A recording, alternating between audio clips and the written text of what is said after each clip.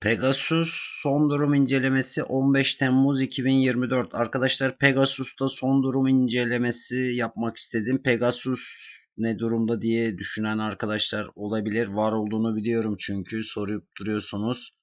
Pegasus'ta işler gayet yolunda. Pegasus güçlü alım bölgesinde e, yoluna devam ediyor arkadaşlar. Pegasus'ta hiçbir sorun yok. Sat sinyali yok. Pegasus yükselmeye devam ediyor. Hangi açıdan bakarsak bakalım.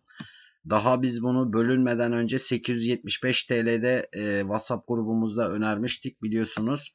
E, Pegasus bizim yüzümüzü kara çıkarmadı. Aynen 55 ve 22 günlük hareketli ortalamaların üzerinde güçlü alım bölgesinde hiçbir sat sinyali göremiyorum.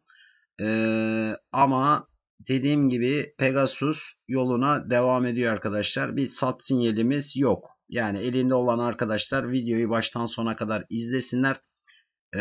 videolarımızı beğen paylaş yapmayı unutmayın.